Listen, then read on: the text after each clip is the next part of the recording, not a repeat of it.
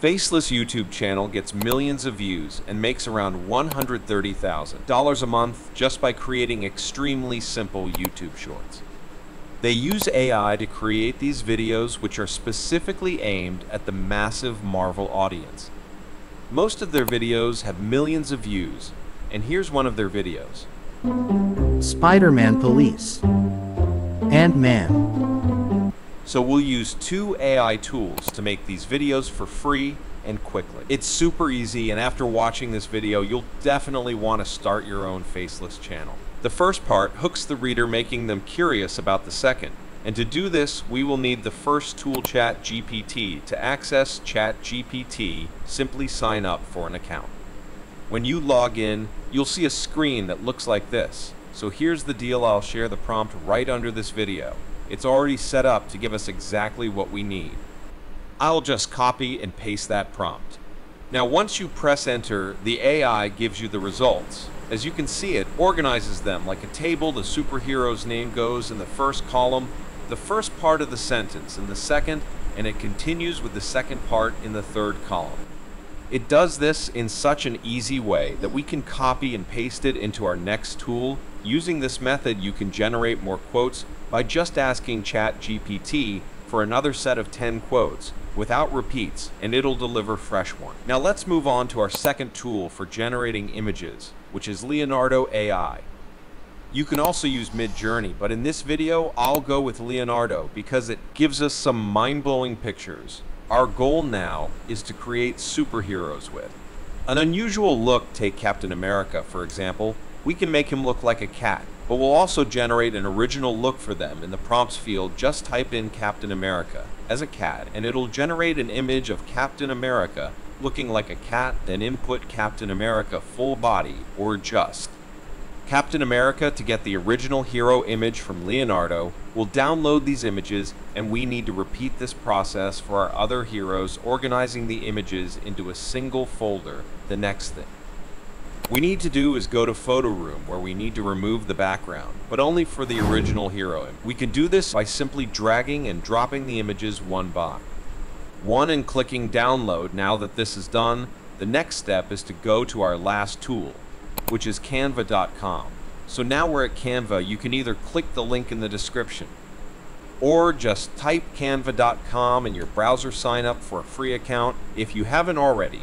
And once you're logged in, you'll see this screen now. What we'll do is click the search bar in the middle and type YouTube Shorts, then select the YouTube Shorts template and then choose Create a Blank template and you'll have a brand new template ready to use. We'll make a few adjustments to prepare this template, so here's the plan we're going. To upload our images and add text placeholders for our topic first part and second part, then we'll import our data first. Let's upload the images by simply dragging and dropping. Now look for the picture with our superhero as an animal, click on it and drag it to the edge of the editor window. This will fill the entire background just like you see now. It's applied as a background video and now we need to tidy it up for adding text. We'll make it about 6 seconds long as way.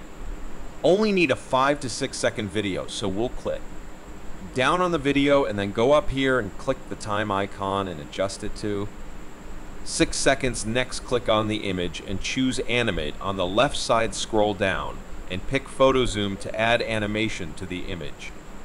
Now drag the image with the original superhero down here, right click, select show timing and adjust it to 3 seconds since we want the original superhero to appear in the last 3 seconds. We'll also animate this image, so go to animate on the left side, scroll down, and choose tumble.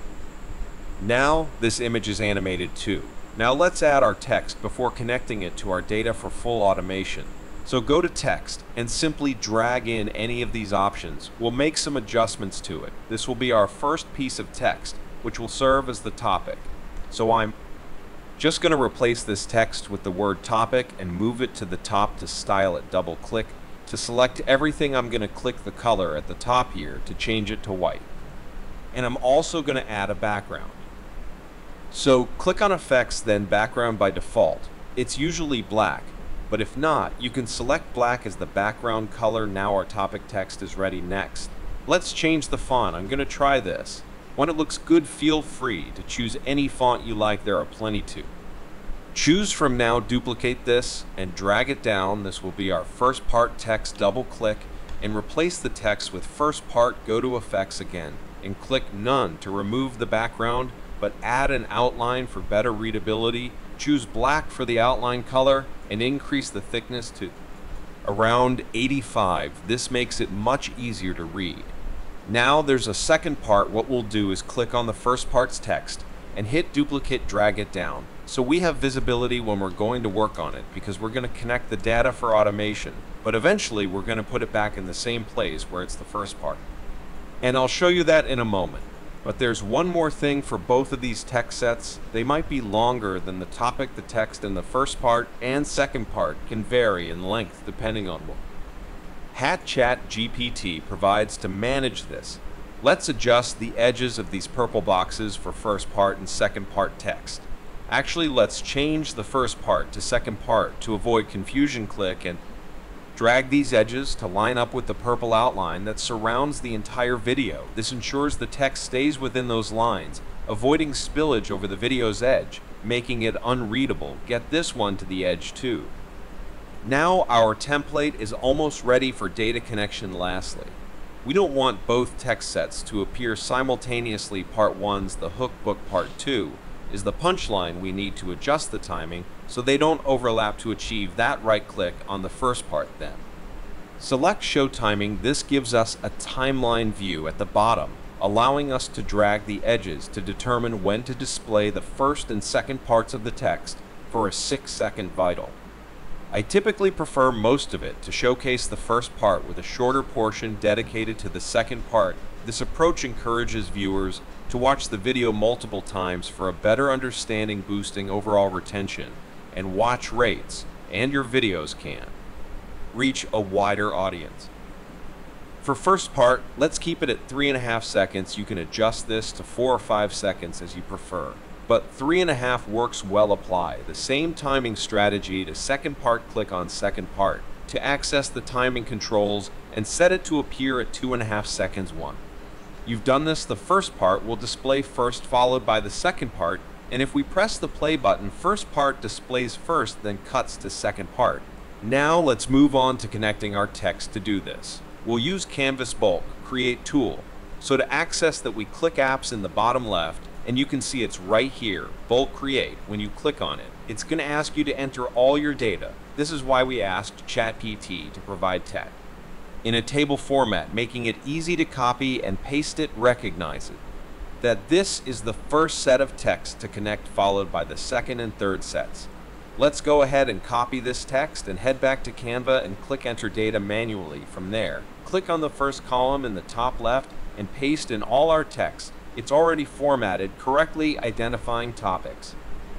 The first part and the second part click done and you're good to go. Now it's going to ask you to link this to specific parts in your editor so it knows where to display the info.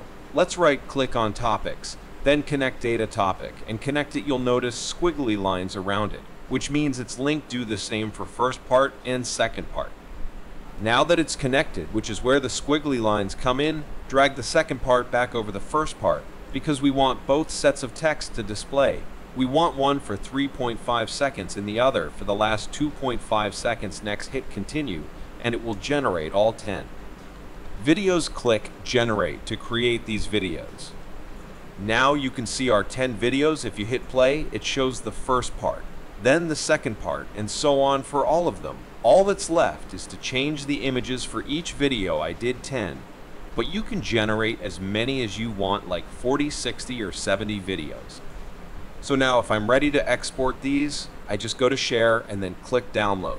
We've achieved all this using AI and a touch of automation to streamline the process repeat as needed to get thousands of videos ready for your AI YouTube channel that's pretty much how you create thousands of YouTube. Shorts, Facebook Reels, and TikTok using AI and a bit of automation. If you found this helpful, please give it a thumbs up and subscribe if you're new. This way, we'll keep making more videos just like this.